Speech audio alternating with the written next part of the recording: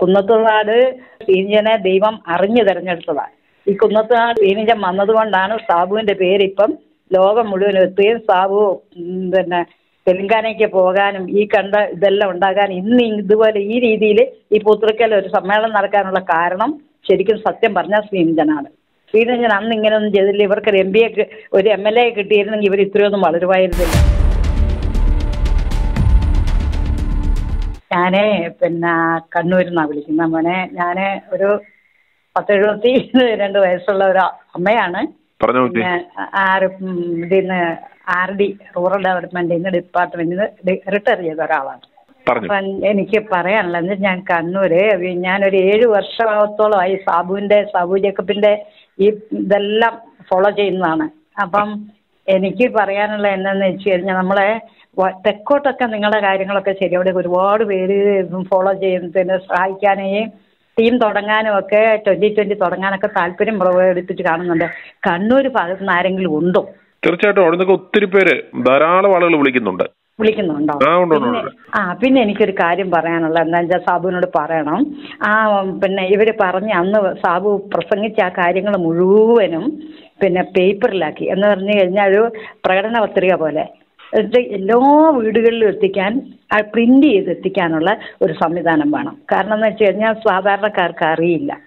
എല്ലാവരും അവനവന്റെ പാടെ വഴിയെ നടക്കുന്നല്ലാതെ കണ്ട് ട്വന്റി ട്വന്റി എന്താണ് ഞാനൊരു ഒരു അഞ്ച് ബാങ്കുള്ള ബാങ്കിന്റെ ഒരു സെക്രട്ടറിയോട് ചോദിച്ച സഹകരണ ബാങ്കുകളാണ് ഒരു അഞ്ചെണ്ണം അഞ്ച് സ്ഥലത്ത് അവർക്ക് ബാങ്കുണ്ട് അവരോട് ചോദിച്ചു ട്വന്റി ട്വന്റിയെ പറ്റി സാബുവിനെ പറ്റി പറഞ്ഞപ്പോൾ അത് സാബു എന്താ ബിസിനസ്സുകാരനല്ലേ അങ്ങനെയല്ലേ ഇങ്ങനെ എന്നല്ലാതെ ഉണ്ട് ഈ ട്വന്റി ട്വന്റിയെയോ ഈ പിന്നെ സാബുവിനെയോ അറിയാവുന്ന ആൾക്കാർ വളരെ കുറവേ ഉള്ളൂ. എല്ലാ സാധാരണക്കാരറിയില്ല.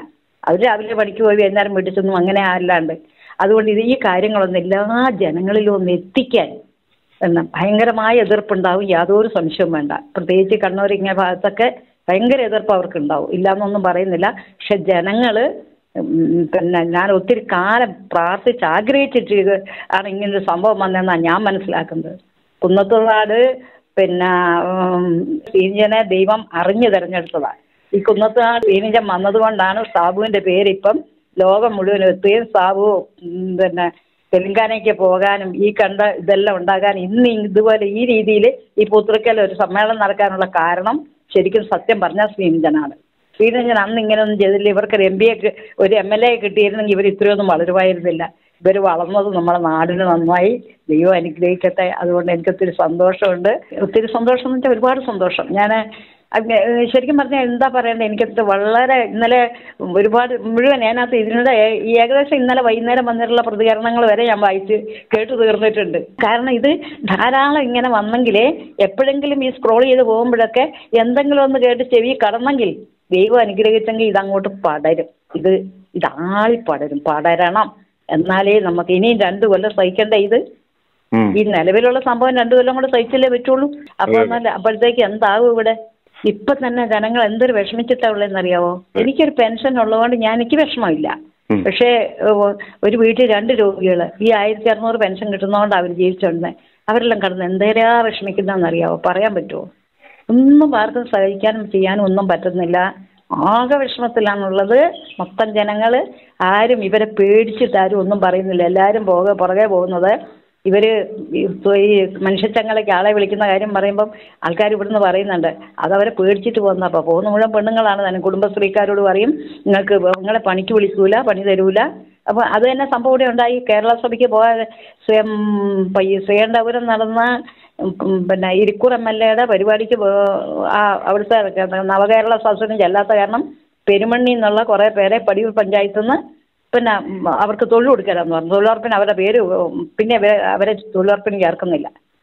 ആലോചിച്ച് നോക്കി നിങ്ങളെ അവസ്ഥ ആലോചിക്കുക പാവപ്പെട്ട ജനങ്ങളെ ഇവരെ ഇവരുടെ പരിപാടിക്ക് പോയില്ലെങ്കിൽ ഇതൊക്കെയാണ് പ്രതികാരണ പ്രതികാരങ്ങൾ ഇതൊന്നും അല്ല. ഇതൊക്കെ ഇതിലൊക്കെ ഒത്തിരിയോ അധികം നടക്കുന്നുണ്ട്.